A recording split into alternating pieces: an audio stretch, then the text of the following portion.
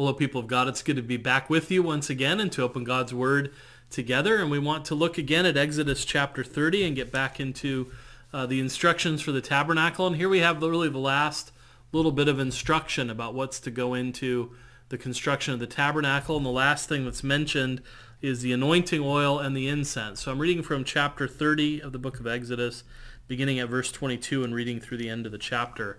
And let's pay careful attention, for this is God's own word.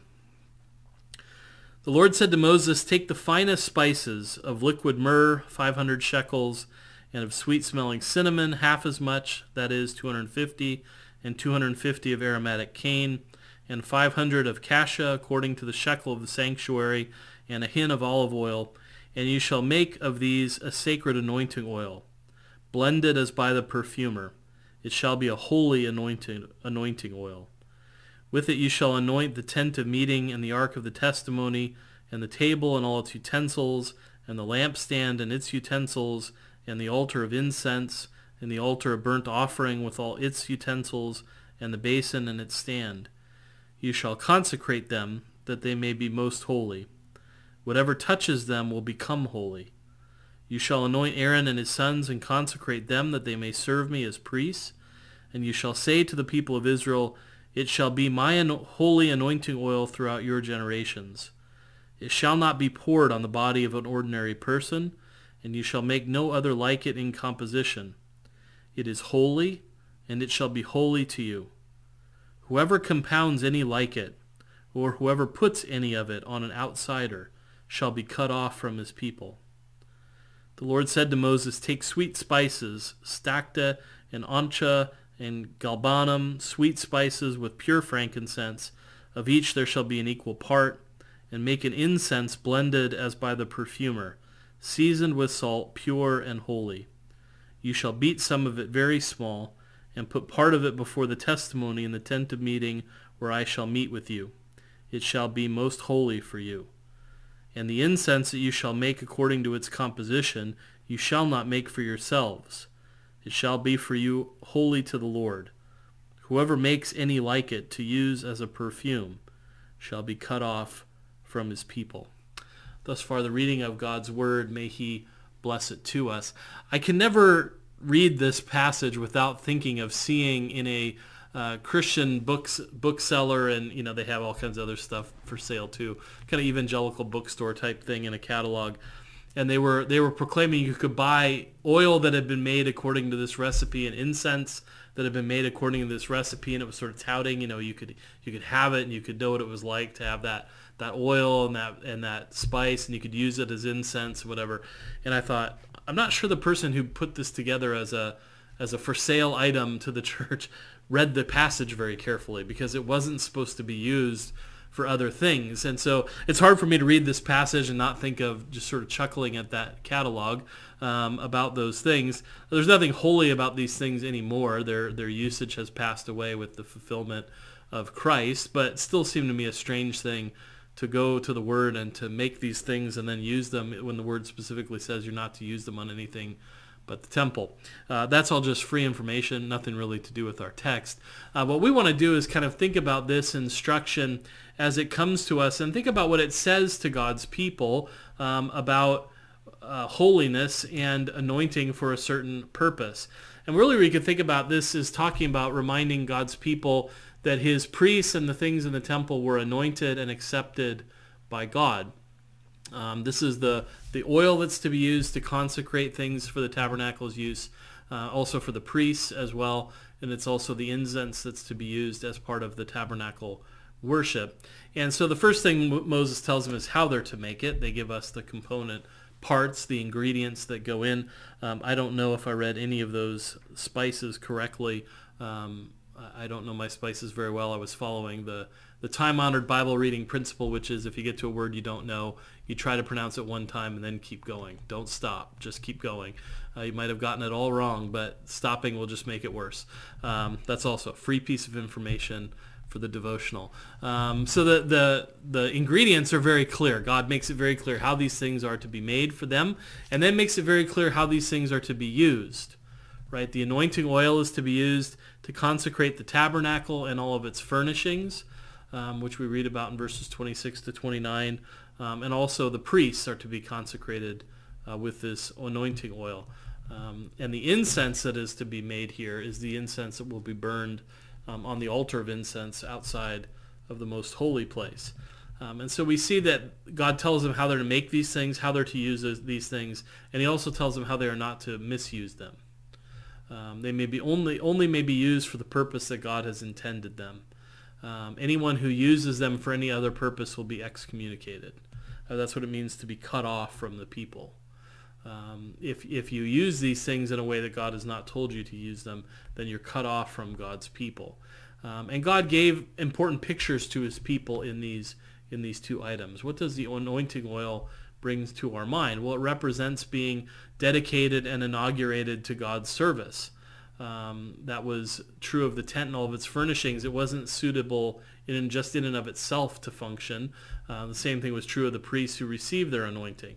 Uh, they're they're being acknowledged in this that it requires an anointing to be inaugurated and dedicated to the service of the Lord.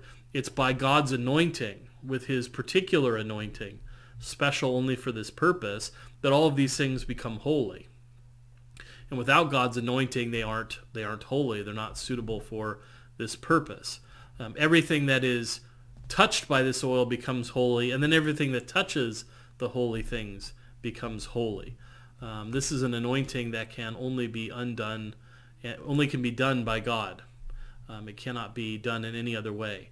So this oil cannot be applied except as God has commanded to the things and the people God has commanded it to be applied to.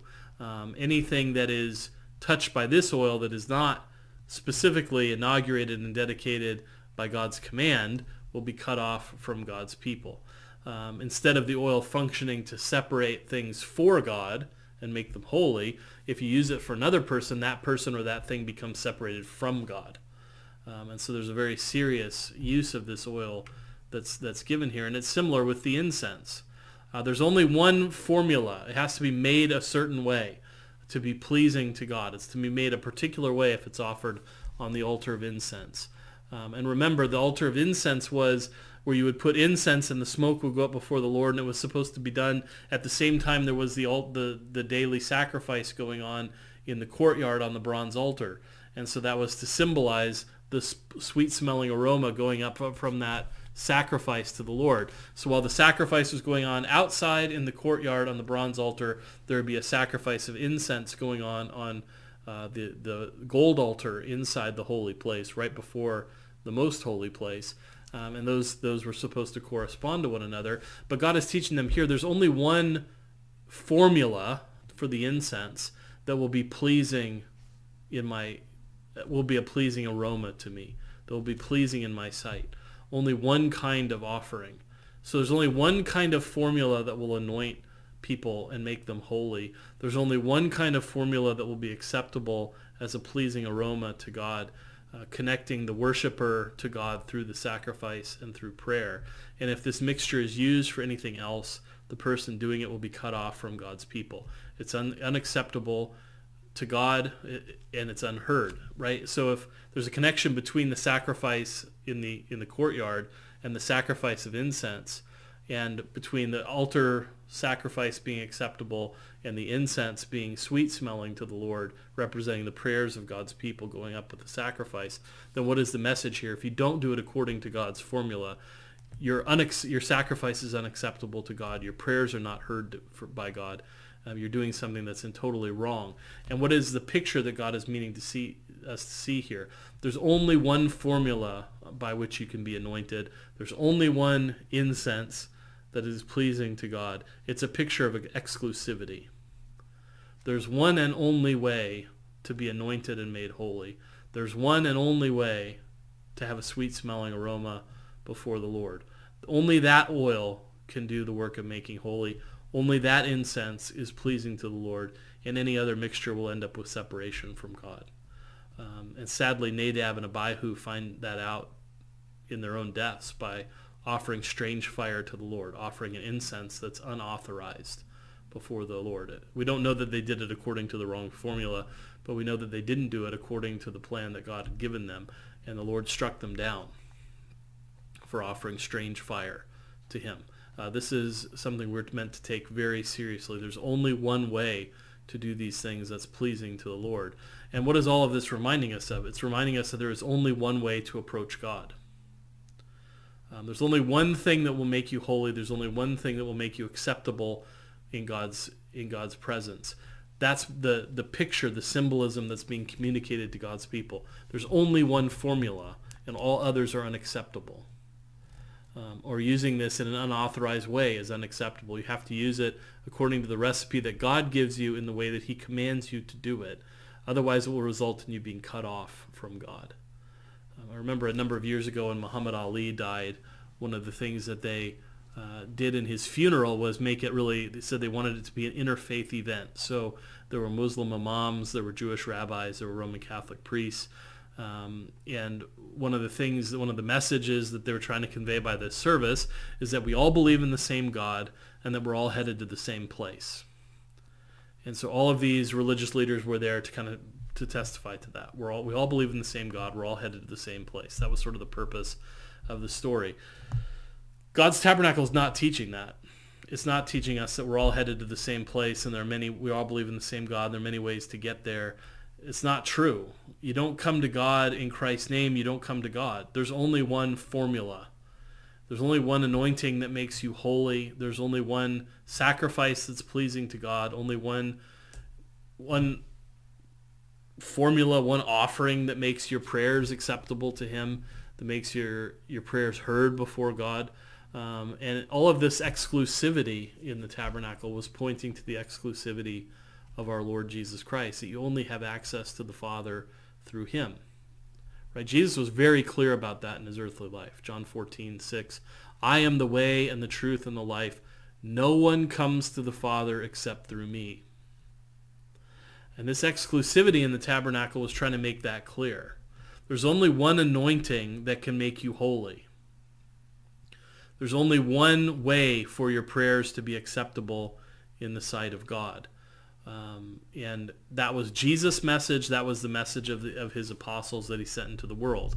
Um, in Acts 4, 11 and 12, we remember, we read, This Jesus is the stone that was rejected by you, the builders, which has become the cornerstone and there is salvation in no one else, for there is no other name given under heaven among men by which we must be saved.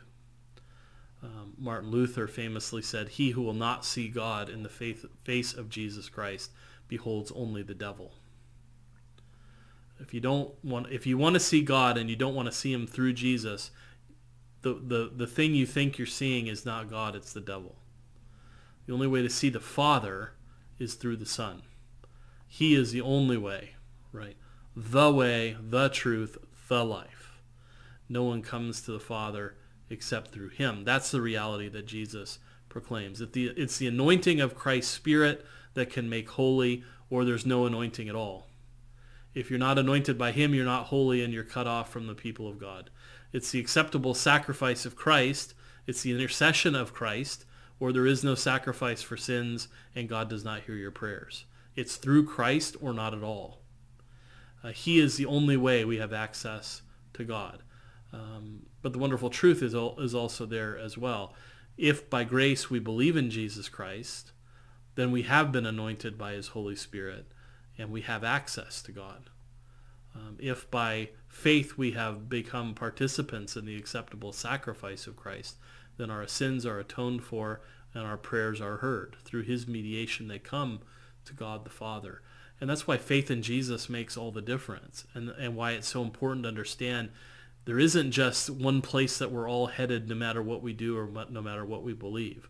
All roads do not lead to the Father. There's only one way to the Father. Um, right? And Jesus warns us we have to enter by the narrow gate. For the gate is narrow and the way is hard that leads to life, and few find it. Um, but if you don't go that way, then you're going down the broad road that leads to destruction. Um, there's only one name uh, given among men by which we must be saved, and it's the name of our Lord Jesus Christ. And so we can be thankful if we know the Lord Jesus Christ and been given the gift of his Holy Spirit, that we know that our prayers are heard because they're offered in Jesus' name and carried by the Father to the Father by him, and we know that we have access to God through our Lord Jesus Christ. so we can be thankful to our to our Lord and Savior Jesus, who has made us anointed and accepted, so that we can approach God the Father and live with Him in blessedness forever. What a privilege! Let's pray and thank Jesus for His work. Our Father in heaven, we're thankful that we can come to you and that we can come to you in Jesus' name, and that we know because we have come in that name that you have given to us and revealed to us, that we know that you hear our prayers and they come to you through his mediation. We know that we are accepted in your sight because of his sacrifice, and that we are holy because we've been anointed by his Spirit. Lord, we pray that you would help us to see the exclusivity and importance of the Lord Jesus Christ, to know that he is the only way uh, that we can have access to you, that there is no other name given among men by which we must be saved. And we pray that those who currently think they see you in other religions and other ways would be made to see that they are not beholding you, but only the devil, and that they would be turned by your mercy and through the power of your Spirit to see your Son and to have life in his name and access to you through him. We thank you that we can pray in his name. We pray that you would continue to help us to do all that you've commanded us to do, uh, that we would uh, follow your law and obey it. We pray that you would forgive us where we have failed to do your will. We pray that you would forgive us for the sake of your Son, our Lord Jesus Christ, and that you would fill us with your Spirit that we might be dedicated to you and offer ourselves as living sacrifices in gratitude for all you've done for us in your Son. Hear us and help us in these things, we pray, for we ask all these things in Jesus' name. Amen. All right, people of God, it's been good to spend this time with you. May the Lord bless you and keep you until we meet again.